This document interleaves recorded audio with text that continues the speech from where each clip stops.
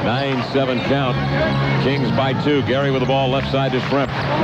Starts his move, lost the handle, pops it up right to Jason Williams. Williams crosses over, loses Gary, drives into the lane, arcs a high one out the window, up and in. What a move by Jason Williams. This is a super crossover. I mean, he, he, he hesitated for a minute, froze Gary Payton, and then just the crossover was just deadly. What I'm seeing right here is a guy that's not afraid to play against anybody. And he makes eye contact with Gary Payton, and Payton is smiling.